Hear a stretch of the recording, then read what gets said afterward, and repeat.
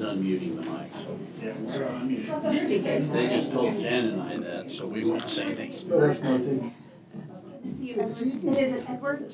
Okay, I wasn't sure if, if, uh, you know, we have our nameplates with our actual names that we go by, and I don't wanna I usually, shorten I usually go by Eddie, but I go by Edward half the time too. Edward, Everybody just says that's that, his- so. My husband, very good, he's Gerald. How are you? Good to see ya. Oh, it's so good to see you everybody in person. Nice to see you here. Hey, good morning. How are you? Good to see you. Good morning. How are you doing? I love your.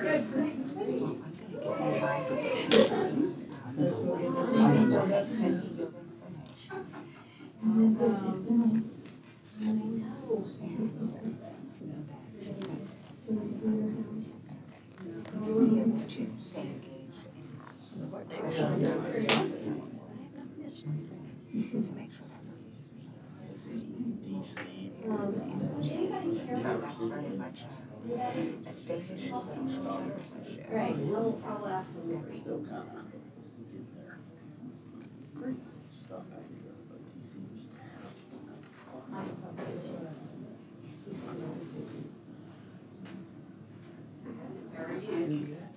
seems. Well, good morning. Hey, how are you? I tried to call you. I think we need a telephone contact. I'm in. Any way that you can join us is. No problem. All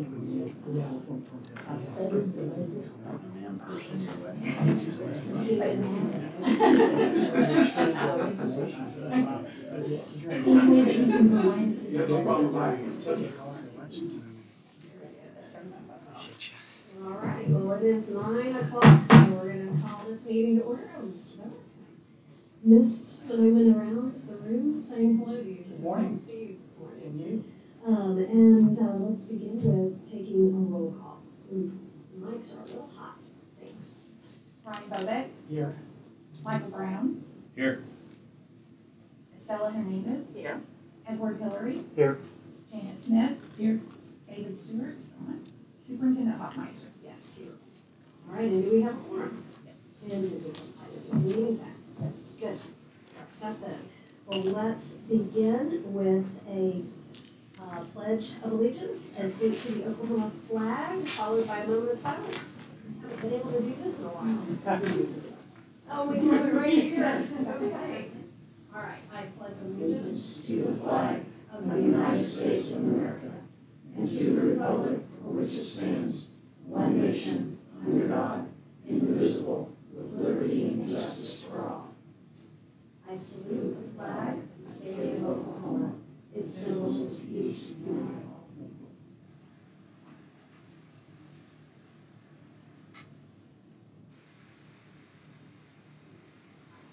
you. Please. It's so good to see everyone, and it is great to be back in person and get a chance to um, meet Edward. Um, since I haven't had the chance to do that in person and um, see colleagues and um, those of you that we've um, only seen in frame on the computer. So um, we really appreciate this um, opportunity to be back, and I think this is the first board meeting we have had back in this um, location in a long time, and we are still working on, um, some renovations from the ice storm, believe it or not, to this building. So we've got carpet rolled up and baseboards off, and we're still trying to get repairs, so. Anyway, thanks for being in, even though it feels like we're not quite set yet, but we are ready to, uh, roll with this meeting, so I'll turn it over to you. Alright.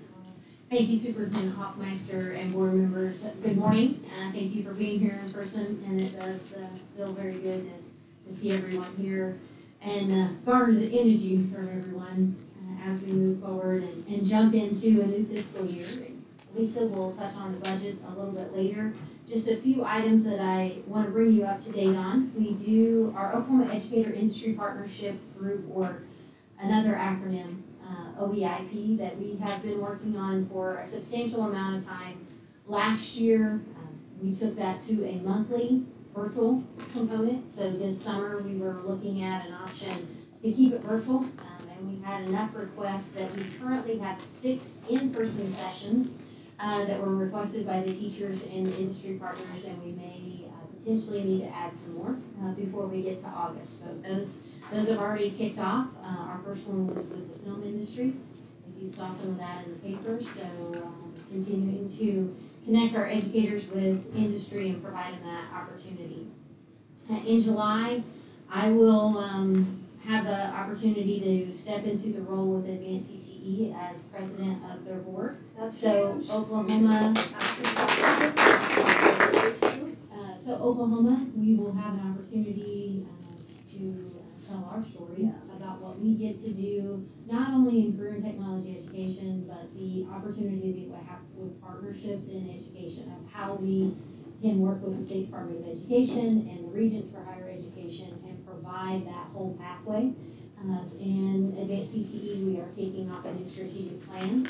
And many of the objectives and outlines that they have there, um, in Oklahoma, we're very blessed that we have um, already some substantial outcomes that we'll get to share. So, um, I'm excited to, to be able to, to help Oklahoma get on the map and continue that conversation about what we can offer students.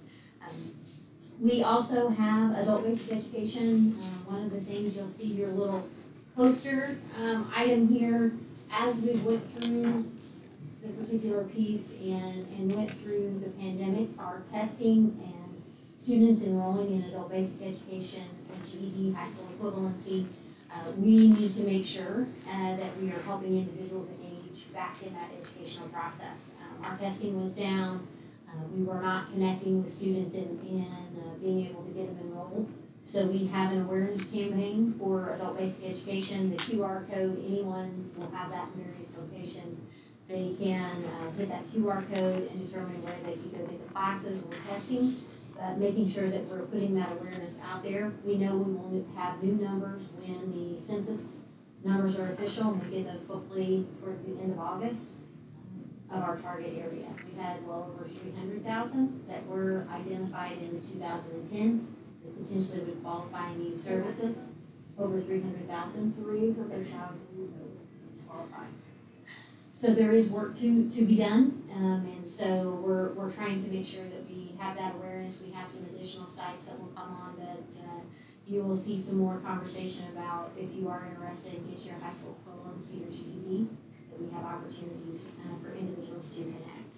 Um, I've mentioned the meat trailer at nauseum, I'm sure, you guys are, oh, here's the meat trailer again. It has hit the road, the mobile trailer is in training right now, uh, Talihina, uh, is where we started. So uh, it kicked off this week. Curriculum is ready. It will move to McAlester in a few days to have uh, another training there. So uh, very excited. And then the American uh, Meat Processing Association will be here and it'll be a part of their tour. Uh, they, they helped us design that. So we're excited to get that moving forward and, and, and looking for great things uh, to continue to happen with that. In your packet, you will see a brochure on licensed construction careers. Uh, the reason that I put that in there, we are partnering with the Construction Industry Board, uh, specifically about awareness. I mentioned awareness on adult basic education, this is awareness on construction industries, uh, construction pathways and jobs that are available. So this is in partnership with Construction Industry Board, um, at their request, some specific things that they want us to target. There will be videos, um, with this uh, that we will be providing in uh, various grade levels for the awareness and then also directly to adult populations. This same outline we are also using with our aerospace partners um, and the ACES group at Commerce to talk about the aviation and aerospace industry. So we will have some more opportunities to to outline that. Um, and the last piece uh, that I have, we do um, in our uh, skill centers area, um, we do, I had received the question about our programs that are at Fort Supply. We do have an opportunity to, to provide those programs at other locations, so we are working out the details for that Fort will transition the individuals to other locations. Uh, we are hopeful that our programs that we have there Fort Supply, that we'll be able to continue uh, to transition individuals with certifications into the workforce. We just will do that at um, hopefully different locations. So that concludes my, my comments. Awesome, and it is really, you know, that's, that's being nominated by your peers nationally to be part of that board, but then to, um, take on that role of president is a big deal. And really does showcase Oklahoma in a way that, um, we wouldn't have that. So it really, it's very special. So thank you for leading nationally as well. That's right here in the state.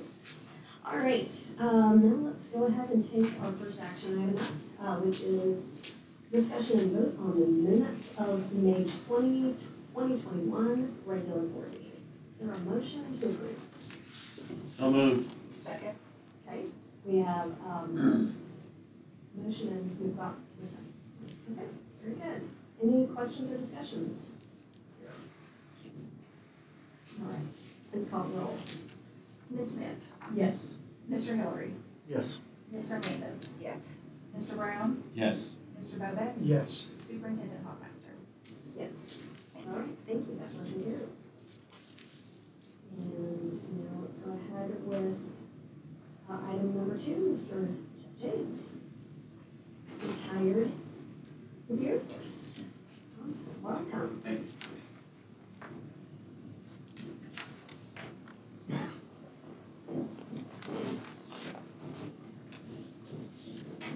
All right, good morning again, everyone. Oh, wow.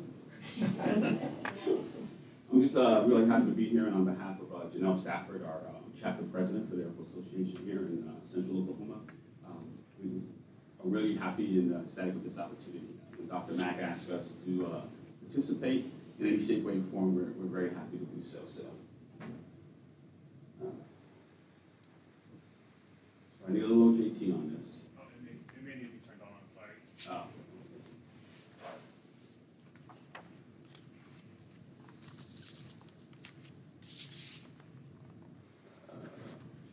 All right. A little bit about who the uh, Air Force Association is. I gave out a few handouts on that, so there's some out there. Um, The big picture is we're a nonprofit organization, um, lots of volunteers across the nation. Um, and we're continuing to grow and continuing to uh, push some of the things that we feel are important to the Air Force Association on behalf of the United States Air Force as well as Space Force.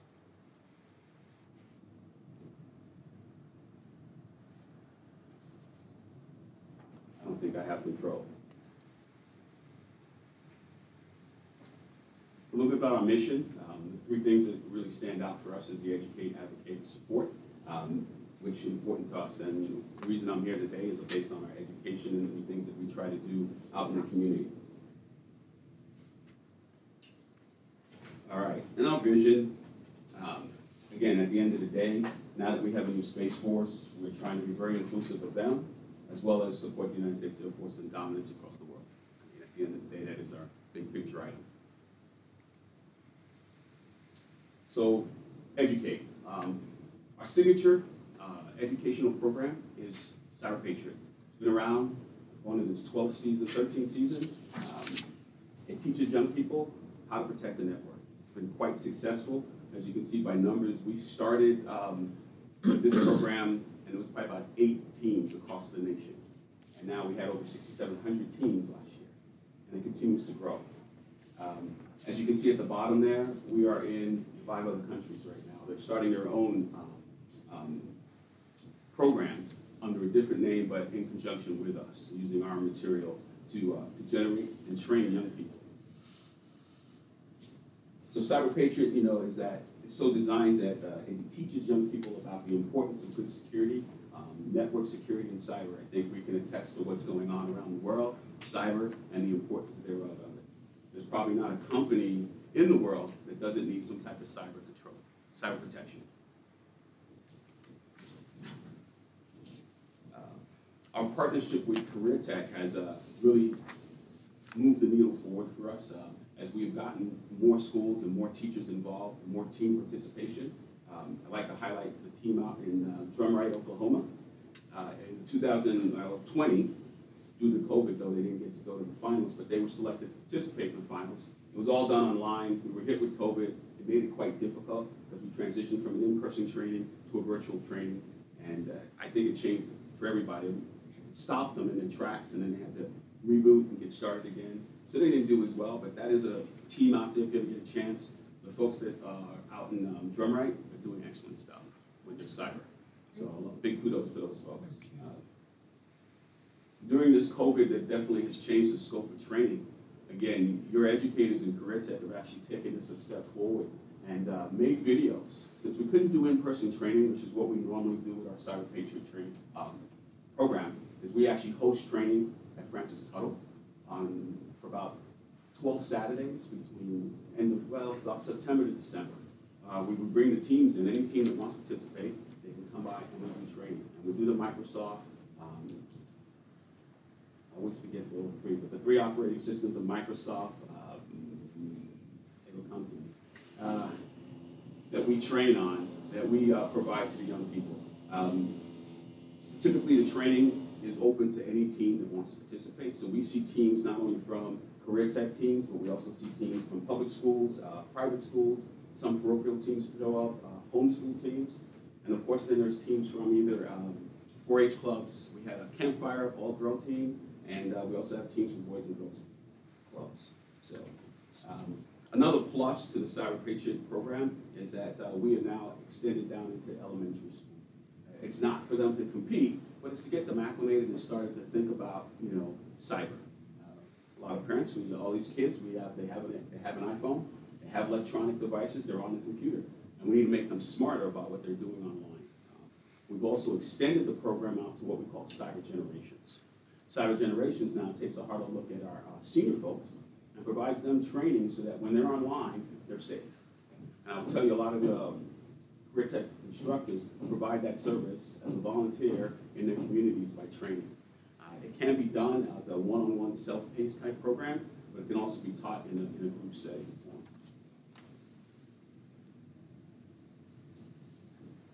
Now, the one that's gotten a lot of attention this year, at least in the state of Oklahoma, is our Stellar Explorer program, right? So, um, introduced only in 2014. Um, we were very successful here by, we started trading in probably around 2016, but in four short years, five short years, we were able to send two teams to the finals this past year, right? We started out with about 214 teams across the nation competing, um, dwindled down to 10 teams to attend the finals, which was all online. Uh, typically, it's an all expense paid trip to um, Cheyenne Mountain and the folks at Colorado Springs. And the kids get to experience uh, all that we do there in space with the military, as well as a, a big um, conference on space.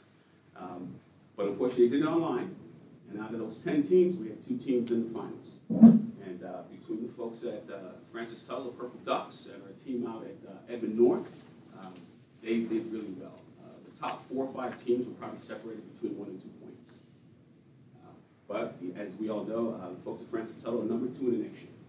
You know, are two teams, that, you know, one team out of Oregon that's number one, and the third place team out, I want to in California. So we actually dominated the fair, that, that particular area. Um, you know, I was telling somebody earlier, we had teams on the East Coast, we had teams on the West Coast, and then there was Oklahoma. That took up all the center mass. So we did really well. Um, with that program, as it begins to grow, um, we are really starting to extend. So we've been selected as one of the uh, four locations across the country for a pilot program on stellar camps. And the stellar camps have been created to get kids more interested in space and show them what those opportunities can look like at the end of the day. so with that being said, we uh, did some train-the-trainer programs, uh, excuse me, training uh, in conjunction, uh, hosted by uh, um, folks at Career Tech, um, at Metro Tech. We had two days of training where we had some educators from across the state come in to get more familiar with the program. I can tell you that, you know, uh, space, physics heavy, a lot of science, a lot of educators are sometimes a little bit intimidated. I will tell you that, you know, it's not my bailiwick. It's not something that I am involved in. Um, but I, I'm passionate about education and helping kids do better. Um, uh, my past life in the, in the Air Force, uh, I was a first sergeant for 10 years. Uh, that's kind of a personnel thing, taking care of people. So I'm used to getting kids to do better. That's, that's my goal. So we are really out in the community trying to help young people, you know, figure out what that direction looks like. And once you put these programs, whether it's Cyber Patriot or Stellar Explorer in front of them, they just go.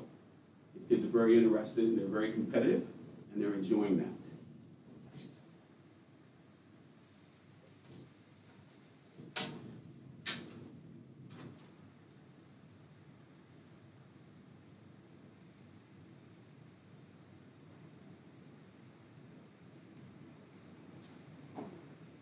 All right, there we go. All right, so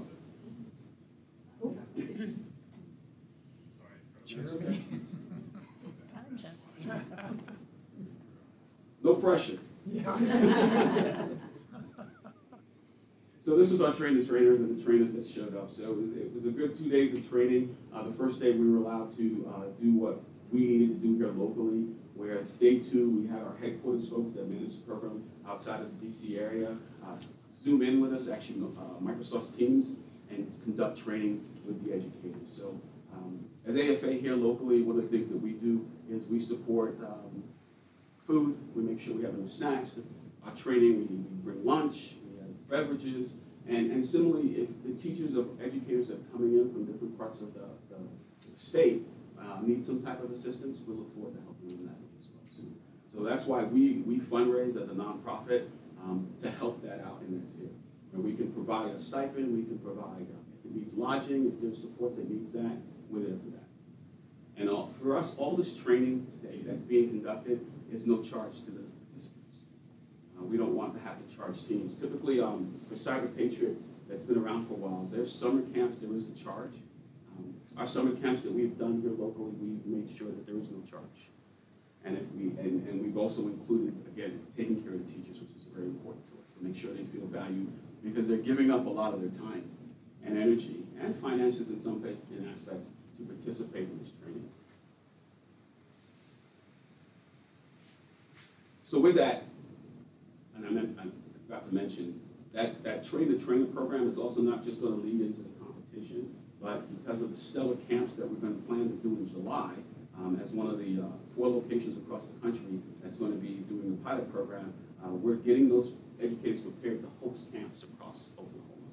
And we're looking forward to that, that's a whole, um, new thing for us that's coming out. Um, so we've partnered not only with just Career Tech, but we also included the FAA, they're gonna be part of that. Uh, uh, Greg Smith out at uh, OSIDA is also gonna be part of that. Uh, The Oklahoma uh, Aeronautics Commission is also gonna be weighing in a little bit. So we're looking at trying to really put a robust program together for about four or five days, to really give the kids some insight into space and stellar explorers and what that looks like. So this slide is just, there you go, kind of sums it all up for us on, on what we've done with Career Tech through the years. Uh, when we first started this program, again, you know, we, we would average for Cyber Patriot maybe fifty or sixty teams across the state. Um, last year we had, or excuse me, two thousand nineteen, we had hundred and seven teams. Uh, You know, two thousand twenty, again, off year, we, we fell down a little bit to about seventy-five teams, but, uh, we think that that's just gonna pick back up, we see the momentum moving forward, and, um, so we're looking forward to that. Right now, registration is open, uh, it's typically open between April all the way to October. Stellar Explorer, same thing, you know, when we started out, we had three teams in the state competing. Um, this past season, we had fourteen teams. So it just keeps multiplying and we continue to do more outreach. We continue to interact at conferences, uh, and, and, uh, educational, uh, professional development programs where we get to talk to educators. Kind of give them a good overview of what that, uh, training looks like.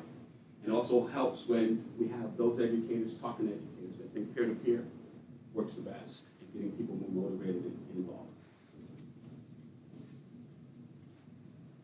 So I just can't brag enough about our relationship with Career Tech and what they've done for this program. So uh, the facts speak for themselves. So I think I kind of went over everything probably a little quick. But if there's any questions, I don't want to bore you guys too much because I, I can get in the weeds a little bit. So kept it simple. Um, and that's all I have. I have a question for you. Sure. Oh, I'm sorry, Stone. Uh, Great presentation. I applaud your efforts and success, so congratulations. What about your um, networking, if you will, within the K through 12 as well as the career techs? Are you all just on a regular basis proactively reaching out to the schools or the districts, or how does that, what does that look like? We, so when we go to some of the uh, professional development training, uh, I've been out to, to Bethany schools. Um, we talk to educators at conferences, and, you know, educators from K to twelve, not just in the career tech system, uh, there. Uh, one thing I forgot to mention, know, so the curriculum for both of these programs, due to the support we get from Dr. Mack and, and Tanya Norwood, that information is on their website, all the curriculum is there, which they pretty much give access to anybody that wants it, is, that's an educator. And then they took that a step further. They were able to get that uh, approved for Oklahoma Promise. So the curriculum in, in here can be used in a classroom setting. So it's open to anybody across the board, whether it's K through twelve, uh, if it's a boys and girls team, it's campfire team, Boy Scouts. As long as they're in that age group and they're in, they're educated, they're in school, they're uh, enrolled in school, they can participate. Uh, and the other thing with that goes, if they're a Title One, if they're attending a Title One school, there is no registration fee, it is waived. So we, we trying to push that aspect of it. Um, believe me, I've had, uh, multiple conversations with different schools. Um, I think the biggest challenge is that, you know, there are a lot of competing priorities. So the teachers are faced with a lot of different things that, you know, trying to, you know, dot all the i's and cross all the t's. So, you know, whether I, I talk to them that first year or that fourth year, I think eventually it gets there, it just takes time. Yeah. If you're doing the, the training is how long? You mentioned they come in on weekends, or is it a spread out over time? So the competition for, say, Cyber Patriot, which opens up in April, they actually, um, provide some practice rounds for the kiddos to get involved. Okay. So coaches and, and team directors can, can get their teams in there to start working on what that's gonna look like for the competition. Um, the competition kind of uh, officially starts, I wanna say, uh, in October-ish timeframe, where it really just kicks off and starts moving forward, where there are set gates that they have to participate, they have to log into and participate with this training. Uh, So what we do is we bring them in and we start training as groups with Cyber Patriot. Um, Star Explorer a little different, um, more of a high, it's a high school program that it's hundred percent online. So we don't have any in-house training per se. Um, We just try to support the, um, the different teams as best we can. Um, So it depends on which training you're looking at. So we would bring them in, for a while, we did every weekend, and we saw that that was, uh, it was a lot. Yeah. You know, for, for five, well, four months, you're bringing, you know, young people and getting teachers and team directors and coaches every Saturday. Because we wanted, to- we're just, we wanted to be competitive, and we thought that was the best way. But as we redevelop and continue to rework and we look at this, we decided to scale back a little bit and, and, and do the training a little bit more proactively. Um, so we saw that, I think that works better. But again, you know, the teams that are real competitive, you take a state like California, they put in almost five hundred teams inside Cyber Patriot every year. I mean, I think that the program is well indoctrinated in their school system out there. And that's why they get so much support. And they're very competitive. I mean, you can see by the teams whether, in Cyber Patriot, there's three categories. There's a general, there's an all services, and then there's middle school. And you can see that they are very much indoctrinated with training Cyber Patriot out in California. That's one of the most competitive states across the nation. But we are starting to pick up traction. We love the fact that, you know, a school, like Drumright has been to the finals four times, which is a big thing. You know, you start out with sixty, you know, six thousand teams, and you dwindle down to about thirty teams to go. And Drumright has been there four times. Wow, wow. question uh, for you, but first, I want to thank you for being here. I've had the pleasure of be- becoming acquainted with you uh, through different events as well, but was also present when Miss Norwood received the award. I was out of state. Yeah, so, uh, so that was just great to see Miss Norwood being highlighted uh, by the chapter, uh, but also Edmond North, uh, believe, uh, the student Ryan White, Yes. was cadet of the year. So that just really speaks to that partnership with Career Tech and the great things that happen when we start to work together. So much more gets done. Uh, so I just want to thank you for, for your commitment uh, to to uh, to what you're doing, but also with Drumright. Um, what number did they end up in in their in their competition? So, as they, they do the top three, Mhm. then after that, you don't see. Ah. So whoever wins in that category, so there are twelve teams, say, in the open category, which Redmond fits in, and, um, they only highlight the top three teams. First, second, third, and everybody else is just Okay, okay, a runner-up. yes. So, um, but to your point, um, you know, when you look at the, uh, what, uh, what Edmond North and, um, and uh, Francis Tuttle did, you look at those students, uh, some of those students from Edmond North feed into the career tech. So a lot of those young people knew each other. So I had the uh, privilege of, um, I was with the, uh, Francis Tuttle uh, Purple Ducks when, uh, the finals were announced and who won. And so you had these three kids, four kids, who, when they didn't hear their name for third place, they kind of sunk a little bit. They thought in their minds that they were, the only best that they could do was third. So when they didn't get announced for third, they kind of went down, but then they started rooting for Edmond North. Because they just felt Edmond North was going to do better.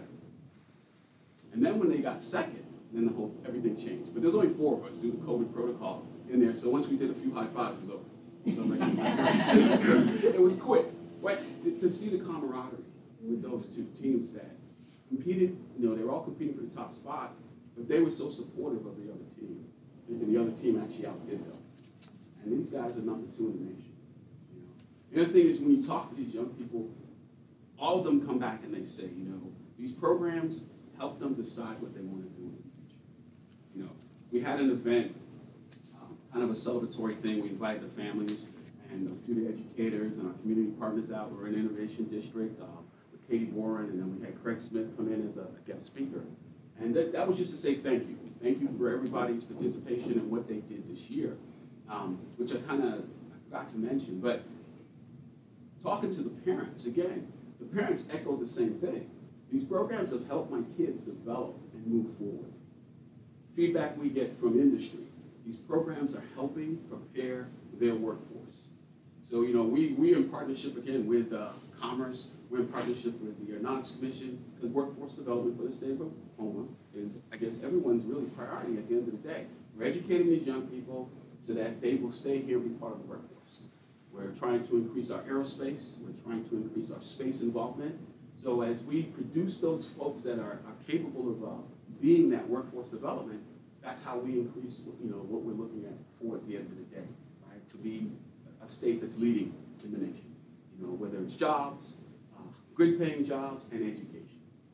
So I think it's all working. Um, sometimes I think um, we don't communicate as well as we should with each other. That's why, you know, I, I think I really, um, I give a lot of kudos because, because of that relationship with Career Tech, they've invited us to so many things. And I'm retired.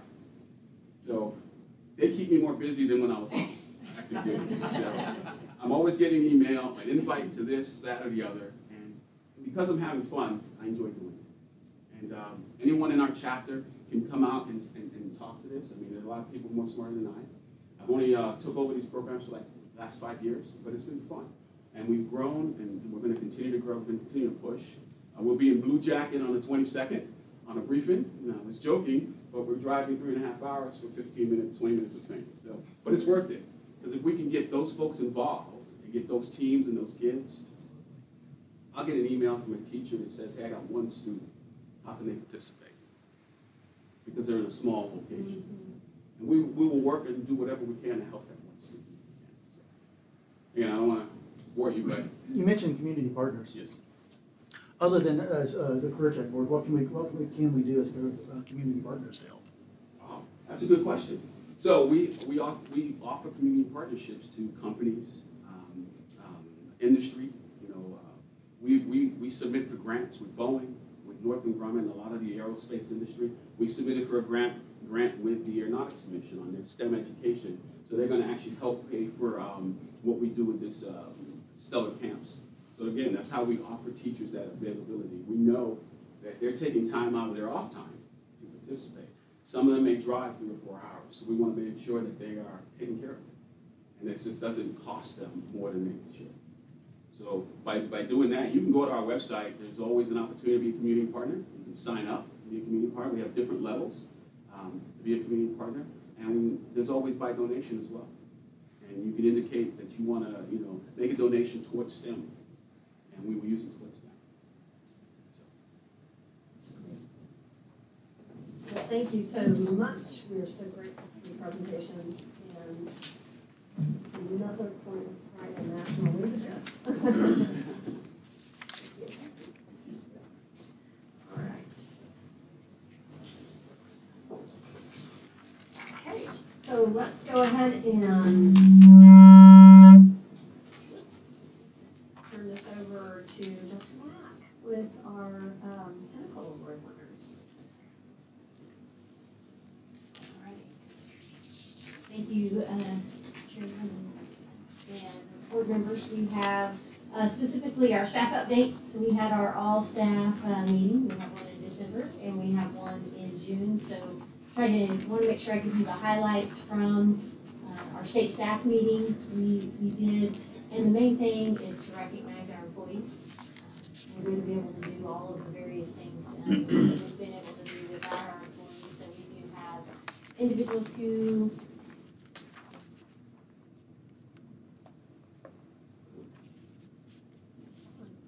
Uh, so it is on. Yeah, it's on. Okay, there we go. If I hold it just like this, I think it will work, so I will not move my hand in this fashion and we'll be good. So, um, so we do have some new team members, uh, that have joined uh, throughout this time period. Uh, some of them, uh, did start in January, but for, uh, time period, we have some new individuals who have came to the agency and uh, from various, uh, some of them are from educators in the classroom, others are directly from industry, but we are very excited to have them on our team uh, as we move various initiatives forward. We do have some internal promotions and some of them uh, you, you approved right here uh, at the board meeting. So uh, Chrissy Miller, who was our SkillsUSA State Advisor, is now moved into a program specialist role. Jessica, who uh, is now the manager of accreditation, and then Shauna, which you approved at last board meeting, moving into the manager role. She was a coordinator in that area.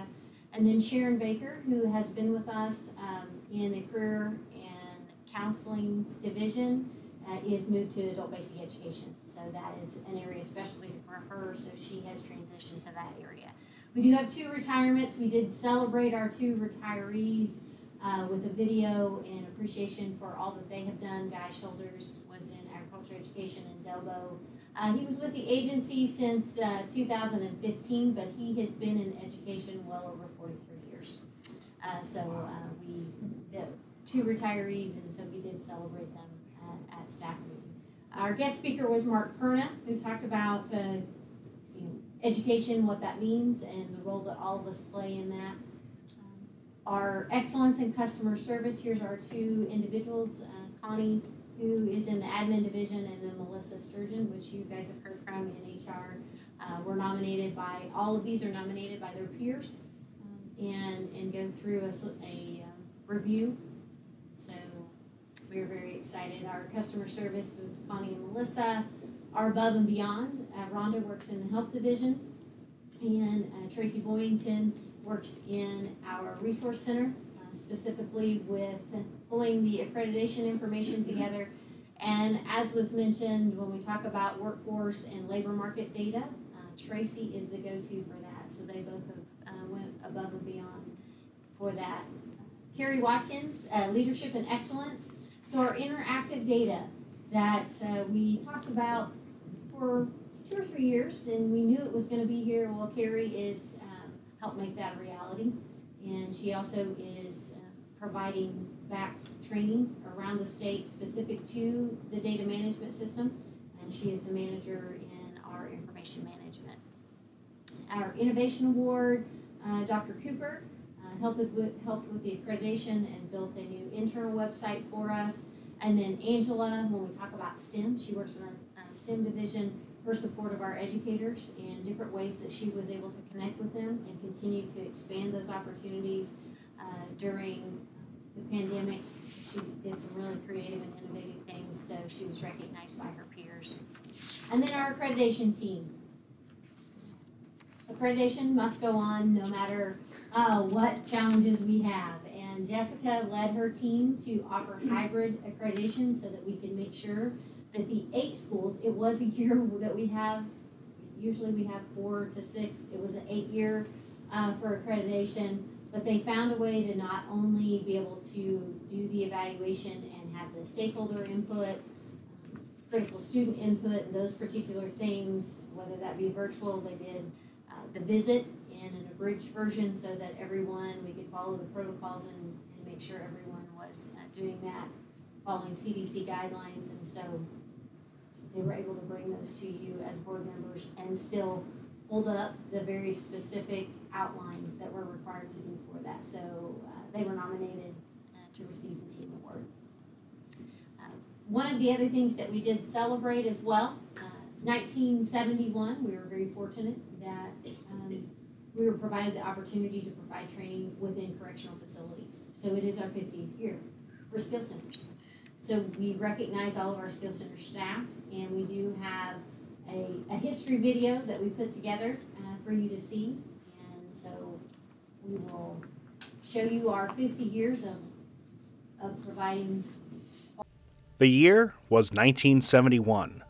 The first inmate training program in the nation opened inside of the Ouachita Correctional Facility. This facility would later be renamed for the man who helped start the program, Jim E. Hamilton.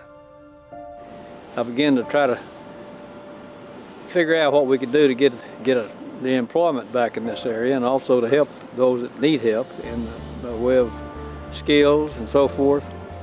I, I met with Governor Bartlett and asked him if he would help us create an institution down here for for the Department of Corrections. And uh, and I said we, I said I'd like to try to get VOTEC involved to teach the courses, and that way we could have uh, have inmates there that could learn to read and write, get a GED, and also learn skills. There's been thousands and thousands of people come through here, and people that don't have a skill, you give them fifty dollars and a bus ticket to go to Oklahoma City when they're out of prison, they'll be right back in prison. And I think the fact that we've trained them and given opportunities for training has kept hundreds and hundreds from ever going back into into the system because they can go out and get a job. Since its humble beginnings 50 years ago, the mission has expanded. Oklahoma Career Tech Skills Center programs are now available at 13 sites across the state. That one class has grown, and now Skills Centers serve over 1,500 student inmates annually, ultimately preparing them for a life beyond bars.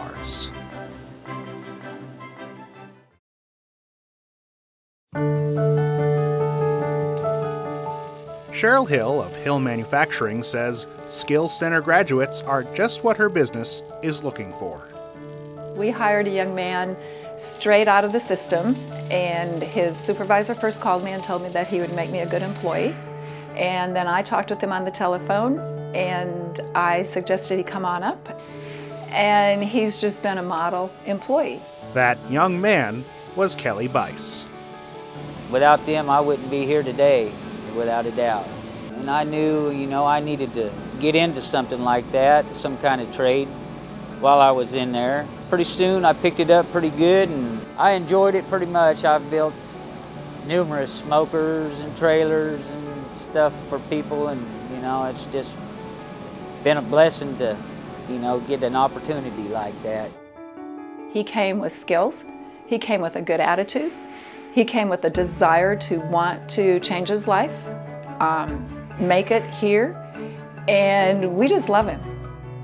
Skill Center programs have also helped inmates buck stereotypes, really opening the realm of possibilities of what they can achieve after they're released. You know, when you have certain charges, um, drug related or, you know, with money or anything, you think you're, you're going to get out. And I'm, I'm thinking I'm going to have to go work at a Sonic. It really sets you up for a lot that you're not, you want, you know, your dreams and stuff, but you don't think that that's accessible to you. So. Jennifer Tiger got a desk job at M&M Manufacturing after her release. I was quite pleased when I got out and I, I followed them step by step on what they wanted me to do, who to contact, and when you do that, it's, it's a good thing, good opportunity. Stephanie Pulley, who was Jennifer's supervisor, says her experience with Jennifer and other former inmates she's hired is different than what someone might expect. They're here every day, they're on time, they're dependable, they're motivated, they're driven. Um, they're going to be our key employees that are going to thrive and excel. And in a year or two, the one employee we have now, I actually see that person being a leader, not just data entry and employee. I see that person being a leader of others.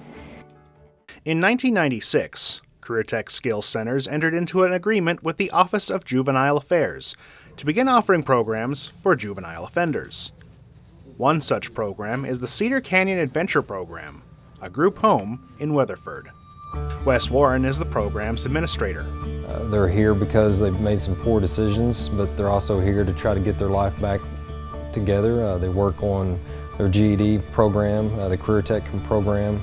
They want to learn, they want to uh, better themselves because they, they're ready to get out of state custody so they can move on with their life. And I think this program's good for that, where we teach them some job, job skills so they go back into their community and hopefully go into a construction component or restaurant, whatever it may be. So we're just trying to get them where they're become employable. But Keith Music says this program goes far beyond teaching teens how to use tools. The biggest part of what we do is not the tool use. I, I tell them if they get out of this program, they know how to swing a hammer, they know how to use a saw, that's all well and good. But it's more important to me that they leave here better men. It's more important to me that they learn how to communicate with people properly, with one another properly, that they know how to, to, uh, to walk in and be professional and be courteous and, and how to speak confidently. Because I can teach them how to use tools all day long, but if they don't know how to talk to people, if they can't get in their foot, their foot in the door with some manners and some courtesy and some professionalism, then all the tool uses in the world isn't going to benefit them. A common theme you'll find in Skill Center success stories is great opportunities, not just for the inmates who go through the program, but for the employers who hire them. Our biggest asset is our people. Our biggest um, ability to create revenue in Oklahoma is employees to make parts in Oklahoma so that the parts don't get sent out to other states. If we don't have the employees to make the parts, companies like ours are going to have to ship parts out to other states to be made. Having the program there to teach the people what they need to know allows the people to get jobs. It will allow people to make a living, not be on welfare. It'll allow the people to spend their money in Oklahoma um, for cars and housing and groceries, and it'll improve the economy tenfold. Humbled, humbled. But thankful that we can help. They've paid their dues, but you have to be ready to accept them. You have to be ready to give them those jobs because for those who were making it on the street before, if they can't make it in a productive job, they will go back to the street and they'll end back up. So you have to make that transition easy for them. At the end of the day, it's all about changing lives and enriching Oklahoma. We're, we're trying to, to make them better men, uh, prepare them for, for real world situations, prepare them to get a job, prepare them to re enter society and, and be productive, uh, be positive, be professional. Uh, that's what we're trying to do. Changed my life.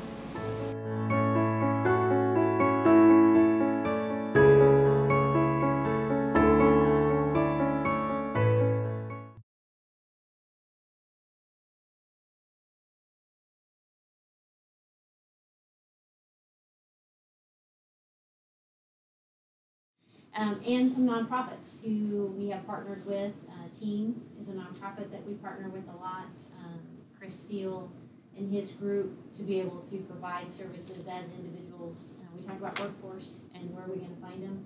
Uh, we have an avenue and an opportunity for people to um, step into specific skill sets um, and be able to be employed. So we're we we celebrated uh, during the time period for our 50th year.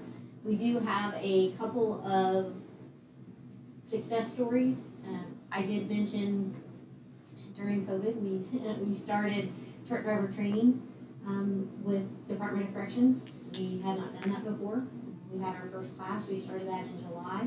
They graduated in August, and we had our first female uh, truck driver training uh, program. They graduated a few weeks ago, and um, they are small classes, and we do have to work on some of the other pieces, making sure they can get a driver's license and, those particular. But we do have uh, a few of those presentations as well that talk about their success story and what those look like. I'm not sure if you have the YouTube links, they're really short. Um, if you want to show those. Um, if if uh, we don't have those, then we will email those out to you so that you can see those. Uh, they are posted on our website as well. I put my clicker down, so I gotta get my hand right back in the right position there. Uh, we also have employees that, that we celebrated for their years of service. Um, we have five years, uh, 10 years, 15.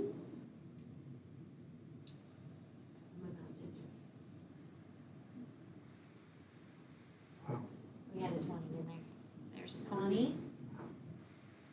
25. We're not done yet. 30. and 35 years of service. So uh, we do have exceptional staff that are truly dedicated to the mission and the goals of career technology education. So we're very blessed to have the longevity and, and their heart and passion, still making it happen every day. So uh, we did, uh, and Lisa will cover this in more detail. So we did talk about the budget with our staff where we're at. We also started having, now that 22 will be before you for your uh, proposed approval, we have already started work on 23. So don't be surprised. In August, you'll get your first read of what we are looking at for 23 to make sure that we can continue uh, to move the needle in all the areas, not only that Mr. James mentioned, but uh, what we get to do in the skill centers and our other delivery areas. Uh, and so now for the next 45 minutes, we'll go through the all. I'm just kidding. Um, for uh, I put up here, uh, I put up here um, an outline of the things. Um, put a challenge to to our staff as we were connecting virtually. Um, how do we find solutions to make sure during this time period we're still delivering and moving forward? So uh, our staff did see the opportunities, relied on teamwork, innovation, optimism, and they never stopped. And you see these uh, items that you list here are things that we have done specifically during the last six to eight months to move those forward. And one of the pieces that we've mentioned uh, various avenues to this, but one of the things that, that I want to mention and make sure that you as board mem- members have reassurance. You'll notice that exceptional P card audit that we had there, we did have an opportunity to have our other audit, which we already presented to you. Uh, but we were notified, and Lisa and Stephanie are both here. Julie Bunch uh, works uh, with this as well. We uh, had an exceptional audit in one area. Uh, we were we were told that everyone does have areas of finding, so we, we had one that was outlined for us, and that was specifically between the time period of March 2020 to January of 21.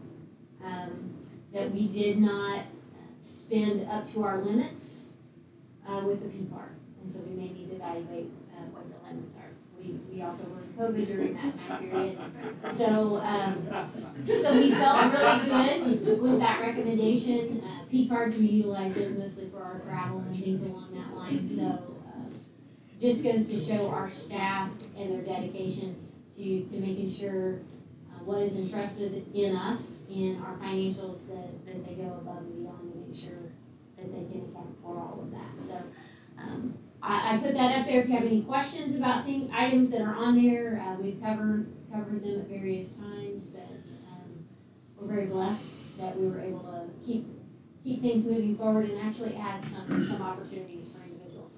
More things to come for us. Uh, work-based learning, we will have a statewide tool that will allow us to capture that down at the school level um, and tell our story better uh, about what we are providing, the industry partners that we have.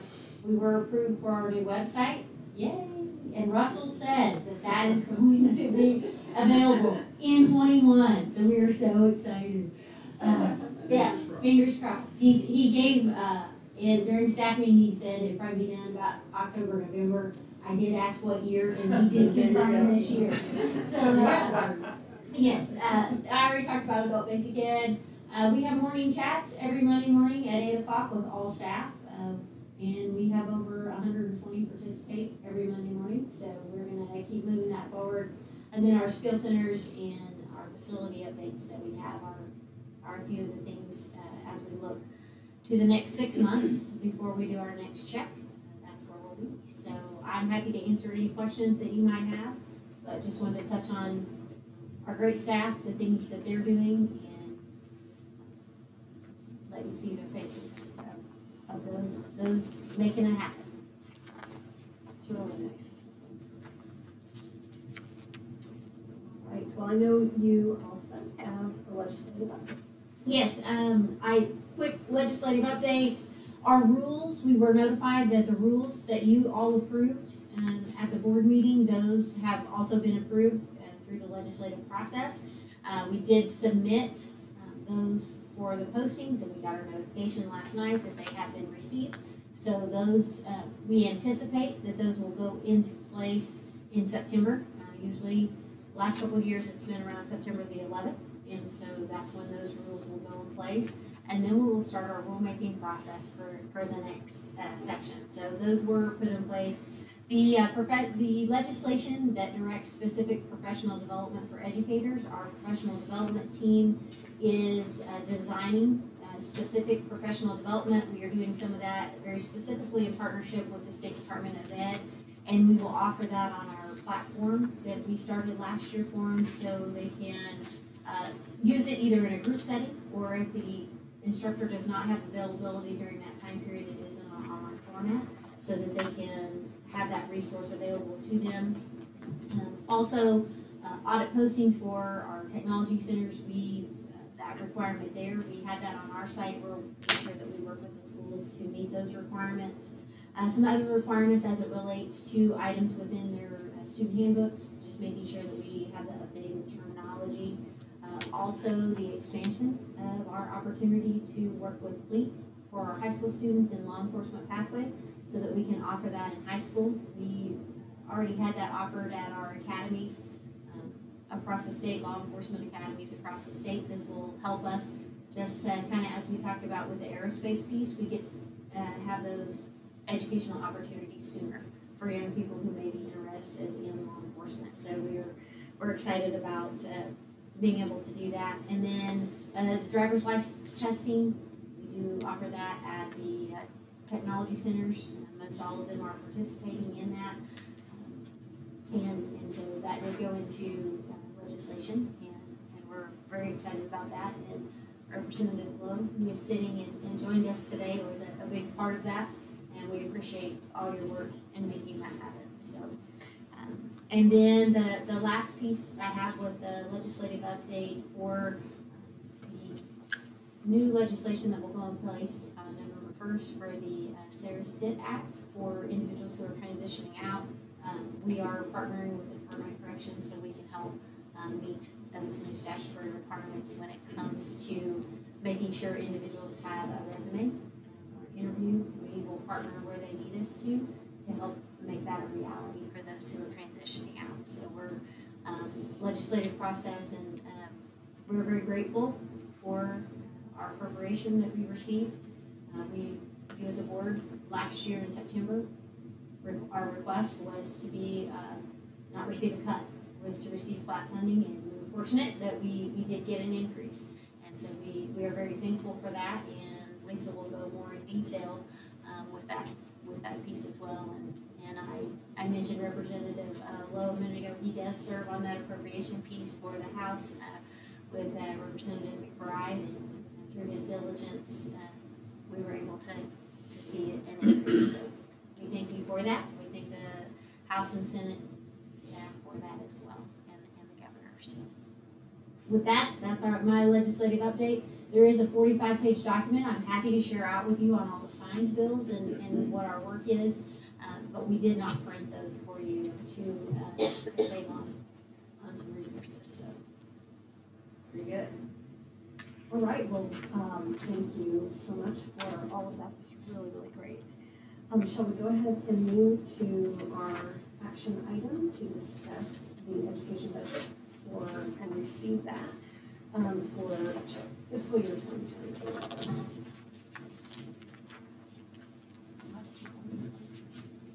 Very quick. Just hold it up like that. This is a test. This is the text. Yes, we'll see. If you have the magic touch. Well, good morning. Happy to be here and happy to see everyone. I don't know about you, but I'm a little bit zoomed out. So it's good to see everyone in person today.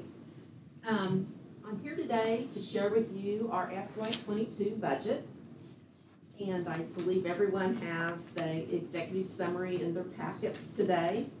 And um, I want to start off by saying, as Dr. Mack has already shared, so much thanks for the investment the legislature's made in career tech. Um, you can see as a, um, let me see if I can work it. Look at this. Oh, Now you go just. oh, I know, you gotta hold it like this, right? Yes. Okay, one of the first notable items is that investment the legislature made in career tech. Again, asking for nothing, understanding the economic situation that the pandemic had caused for our state, as it did for many states. but the legislature said, okay, we see the need to invest in career tech and made that investment of one million one hundred seventy-one thousand dollars or a 0.88 percent increase in our general appropriation. So some of the items in our budget request that we said, if there are dollars available, these are the items we'd like to see an investment in our system in. The first one is the statutory requirement to fully fund the Technology Center's health benefit allowance. So eight hundred five thousand five forty-one is budgeted for that purpose. Next on our list of if there are dollars available, here's a way to invest in our system, was increasing the number of our, our comprehensive school programs. And we're happy to say that we were able to add thirty-six programs, comprehensive school programs. These are approved programs that were on, uh, they were unfunded and on a waiting list for funding. So thirty-six programs were added at a cost of three hundred one thousand nine sixteen. And we were also able to add a little over sixty-three thousand to the agency's budget to support career tech programs. Our next area that increased this year was lottery appropriations, two hundred nine thousand two hundred three dollars or a five point two three percent increase over prior year. Uh, the combination of that increase in general appropriation, increase in lottery appropriation, was overall one percent increase for us over prior year.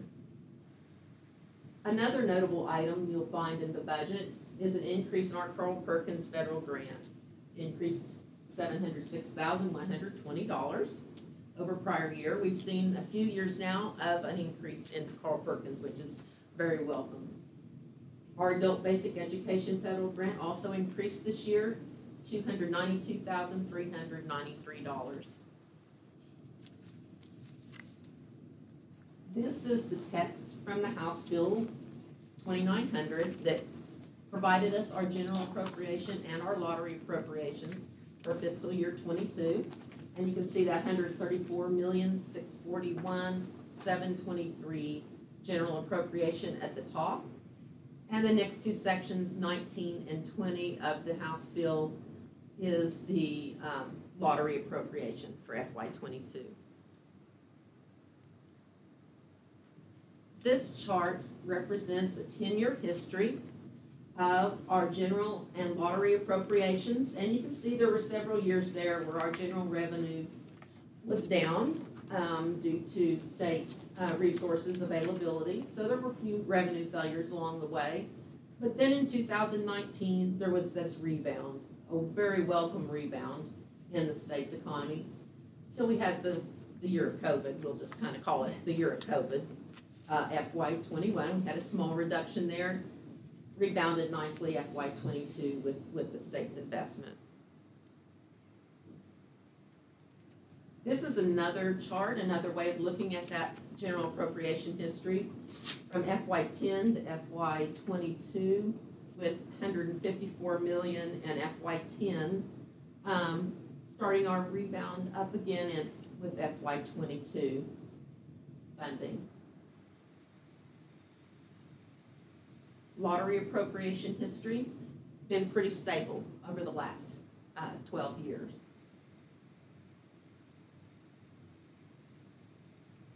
This is a trend of the agency's FTE um, for the last 12 years. Uh, not surprisingly, the trend of our FTE also is similar to the trend of our general appropriations. So you can see we had a 337 staff in FY10, and we have budgeted 213.5 staff in FY22.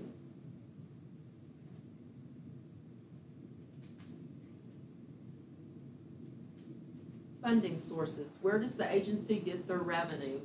The primary source being state general appropriations. Almost seventy-eight percent of our revenue comes from the state's general appropriation, followed by almost seventeen percent from federal grants.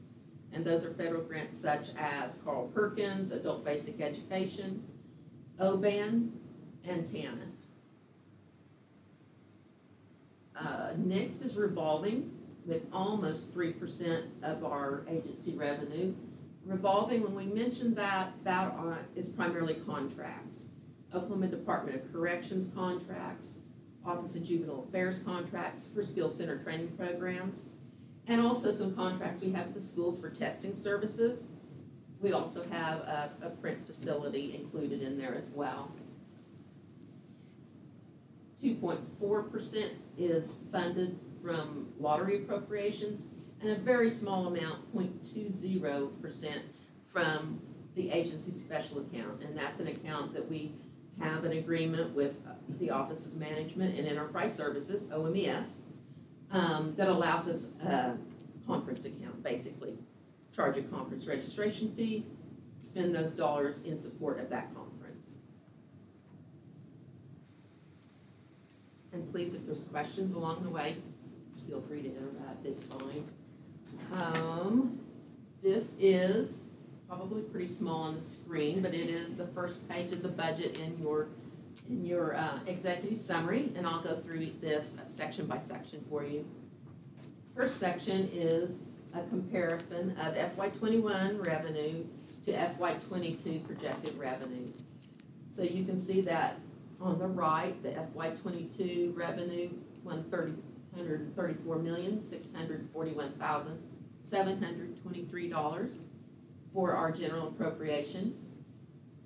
Lottery appropriation at four point two million. We have budgeted revenue of four point nine million in revolving. Twenty-nine million dollars in revenues budgeted in the federal category and three hundred forty-five thousand for that agency special account for conference purposes. And it shows that comparative to FY twenty-one.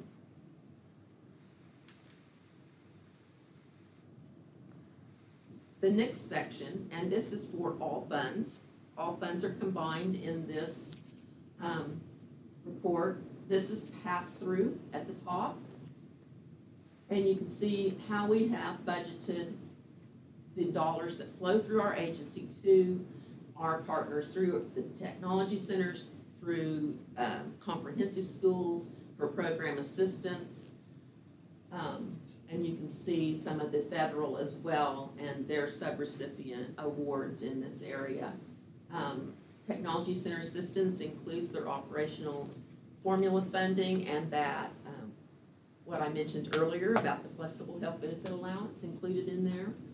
Uh, customized training, that's your training for industry programs, your TIP. Your customized and safety training is in that category. Statewide programs, that is our statewide truck driver training program. Teachers Retirement Direct Pay, this is a payment we make on behalf of the technology centers to the teachers' retirement system for uh, technology center staff. Next, you can see that comprehensive school program assistance. This is program assistance for our career tech programs in our uh, K-12 schools. Can I just ask while we're Sure. on it, so is that nineteen million the amount, the pass-through amount that pays the salaries for all of them? No, the comprehensive school amount, that is program assistance dollars for the, the career tech programs and the comprehensive schools. It also includes the salary supplement that, um, those schools receive for those career tech programs.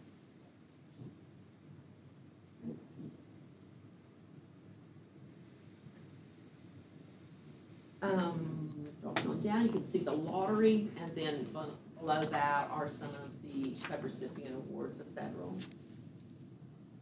And that section totaling hundred and fifty-one million, eight hundred thirty-four thousand.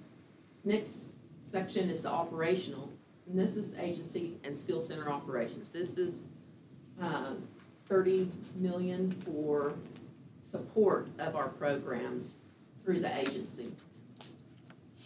Skill Centers training programs are also in this category.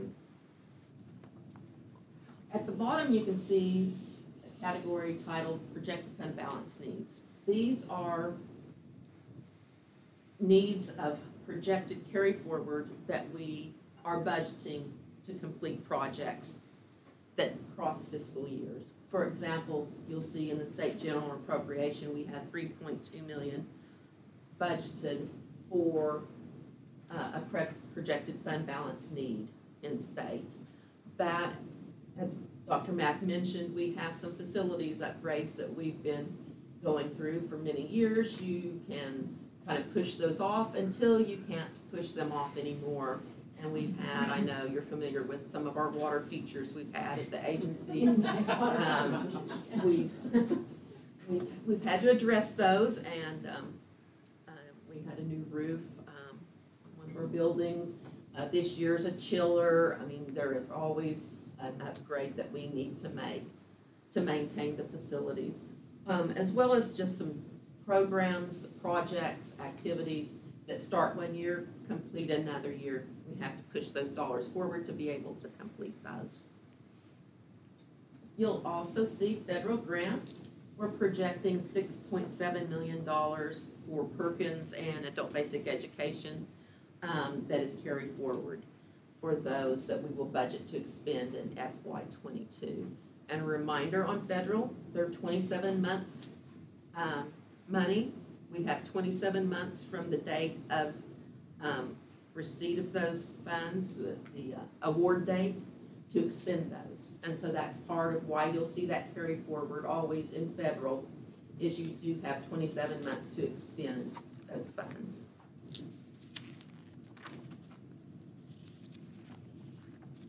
Uh-oh.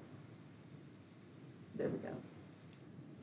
Um, bottom section is the uh, breakdown of the pass-through by entity.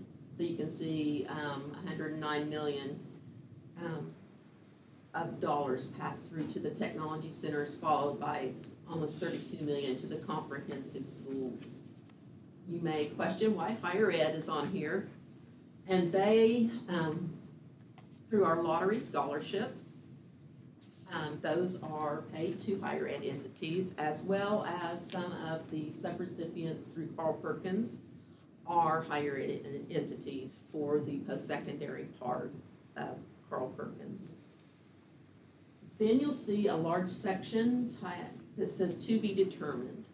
So these are federal grants that we're projecting carryover in, but we cannot tell you exactly who will receive those awards right now.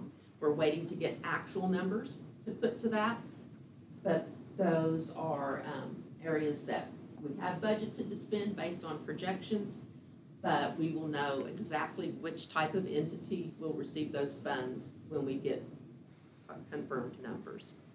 Is that like September or? Yes, or- we, okay, we usually try to close them out in October, actually.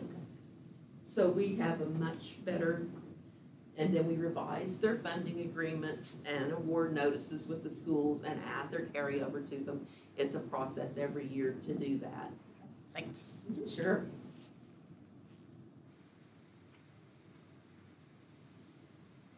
The next section is a little bit more detail, and this is broken out by fund of the budget. Um, again, I'll take you quickly through those categories. The first one being state funding. You, you can see the projected revenue for state funding, and then the broken down, uh, budgeted expenditures between operational and pass-through.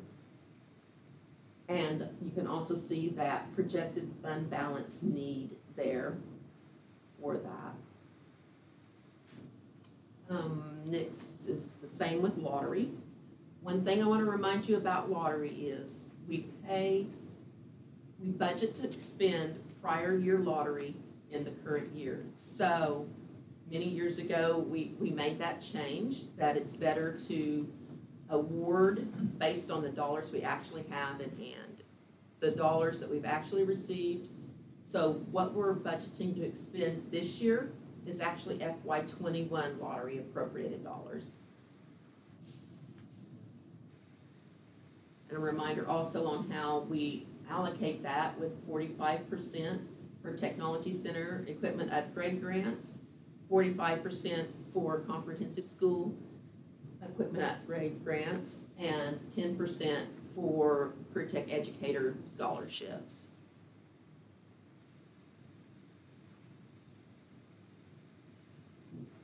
Next section is revolving. So you, in this, you will see um, the skill centers, um.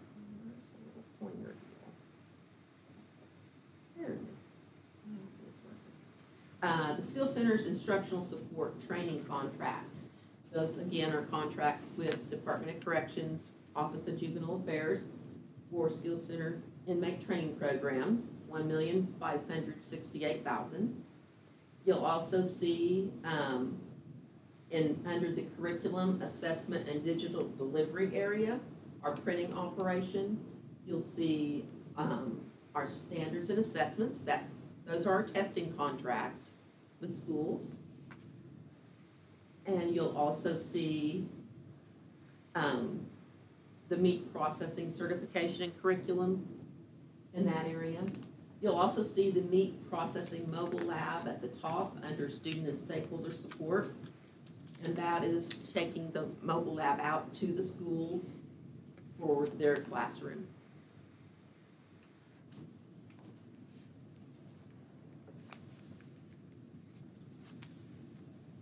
Next section is federal, and this is a breakdown between Carl Perkins, adult basic education, and our other um, federal grants of OBAN and TANF. So you can see that we're almost at seventeen million with Carl Perkins. Wasn't but a few years ago, we were at about fifteen million. So very excited for the direction that that's going. Um, and we have that broken down between administrative and Carl Perkins leadership in this budget for you. Um, adult basic education is broken down between the basic grant and the EL civics piece of that grant. And you can see also those projected fund balance needs for, for both of those federal grants. The, um, then you can also see at the bottom, the OBAN and the TANF. TANF is through a contract with Oklahoma DHS.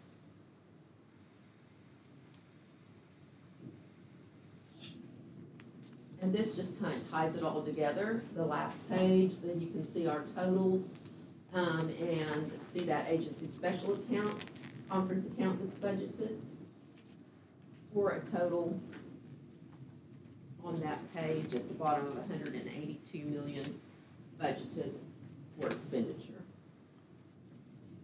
Can I ask a question while we're still on Carl's, uh, that slide? Ah, sure. Um, On the total Carl Perkins, right, just help me with this. The projected new revenue is sixteen point nine million. Yes. Okay, so how do we get, is there like carryover? Okay. Yes, we're the- at- the with 2 19 million. Total, okay, thank you. Yes, that's the projected carry forward that we will need to budget, yes. Okay, August fifteenth, got it. Yep, yep, that makes sense. Totally get that part. Good question, good question. We also have the same thing with adult basic education, where we have projected carry forward there. I have a question on the Carl Perkins, uh, that increase of seven hundred and six that you mentioned earlier. Is that also already included within that projected new revenue? Yes, yes, it is, huh? Yes, it's included in that sixteen point nine million dollars.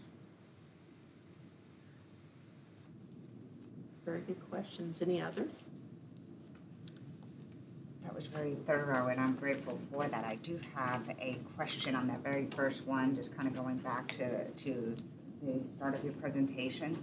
Um, with 2020 and in that area, can you speak to those, um, you can say those COVID dollars and the American Rescue Plan and all of those um, that came through for the state? Um, and how, you know, Career Tech and what they've received. Is any of that included in any of, obviously this is the budget, but, uh, but was there any help that came down to Career Techs? No, well, Career Tech did not receive any of those funding from the CARES Act or the American Rescue Act.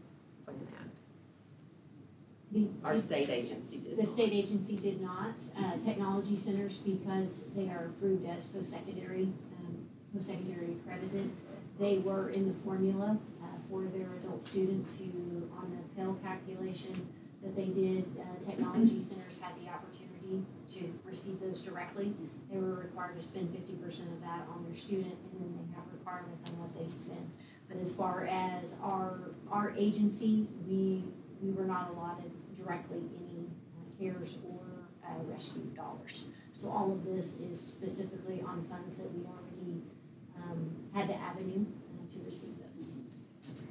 It's a great question. Um, do you anticipate with any kind of infrastructure, um, federal bill, seeing any kind of support that would come through to directly to the taxpayers? Uh, We, we have had uh, various conversation of, uh, especially in the aerospace, um, if there's a way and we tie it directly to workforce, uh, where we may be able to partner in that, um, with, with other entities, that's one of the avenues of conversation.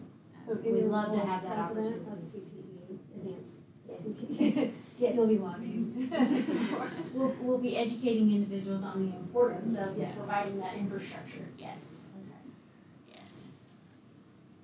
I also want to recognize Stephanie Rosander. She's here today. She's our finance manager and she spent many, many hours putting together this budget for you today.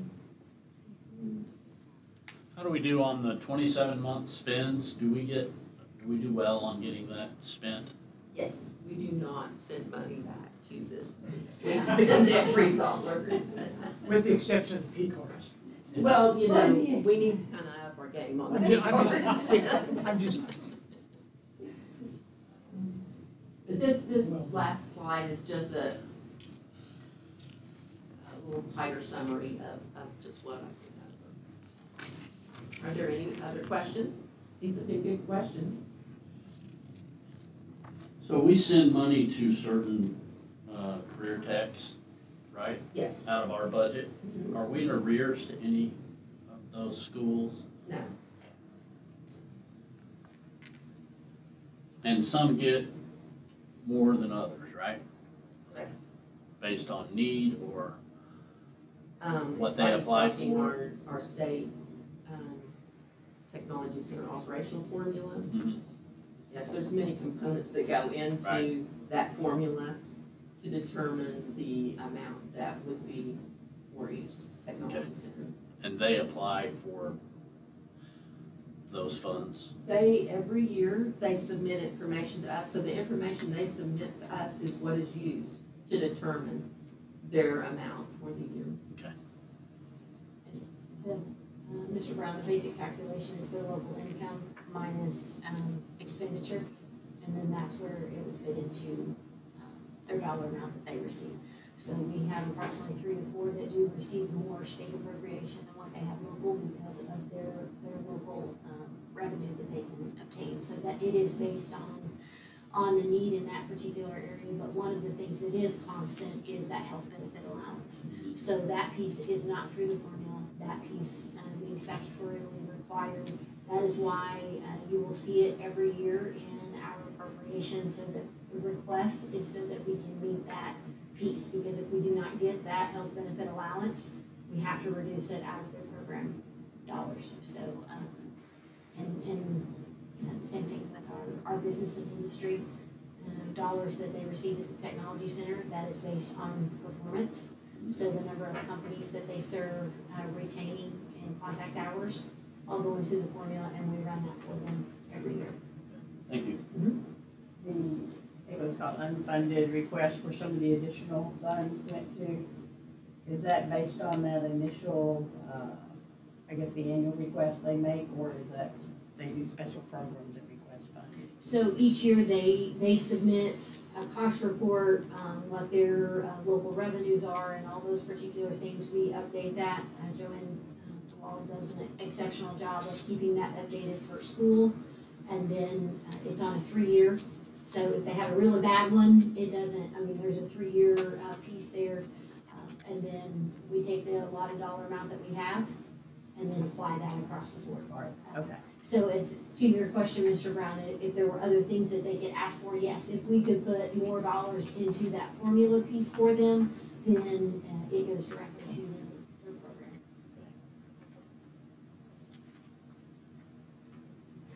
conversation. Um, I saw on there, um, an, an item for grant writer. Yes. is that filled? Yes, we have an individual for Such an important person. She's Just right can't now Say enough. for writing a grant for um, skill reentry. It's a skill center she's That's writing. great. Alright. Okay, then, board members, um, if there are, if you've had adequate opportunity to make a determination on motion, or entertain one. Motion to approve, okay, motion to approve, is there a second? So second. Have Seconds as well, any other questions or discussion? Okay, seeing none, please call the roll. Mr. Bobeck? Aye. Mr. Brown? Yes. Ms. Hernandez? Mr. Hillary? Yes. Ms. Smith? Yes. Superintendent Hofmeister? Yes. All right, motion carries. Wonderful. Uh, and thank you, um, as well, uh, Representative Wood. Here, and I see some other, some of our other, um, career from the legislature who are deep in the numbers, um, they're on the back row. So, I appreciate that. All right, well, are there any announcements? Uh? Uh, in your packet, there is the outline for Summit, the registration for Summit. If any of you would like to participate in any part of our annual, um, summer conference, let us know, and we can get you registered for that part. Um, It will be a, a very cool and sunshiny day that you get to walk to various events. So we can connect you with any part of that, or if you would like to speak to any of the, um, attendants for any of the educator groups, we can connect you, just let us know. You're talking about this. Yes. That's gonna be held at the Civic Center? It is uh, downtown at the convention center in Oklahoma City. I mean, the Yes. new convention center. Yes. Yes, I'm sorry. A- And then we do have various venues, that is our, our prime location for the main uh, conference. And we do that in partnership with OKACTE, E, um, our vital partner in many things that we do. Um, and our, they are our partner in, in Summit. But you said, uh, we'll be walking around, I mean, is it, Some of the meetings may be back at, uh, a couple of the hotel venues. Oh, I um, see. And, and so, but it is an opportunity to see over four thousand career tech educators. that new Omni is pretty nice too. That'd Very good, thank you. All right, then, uh, is there a motion to adjourn? So moved. Second. Right, motion all in favor say aye. Aye. we can do that in person. Couldn't do that on Zoom. Um, so with that, we are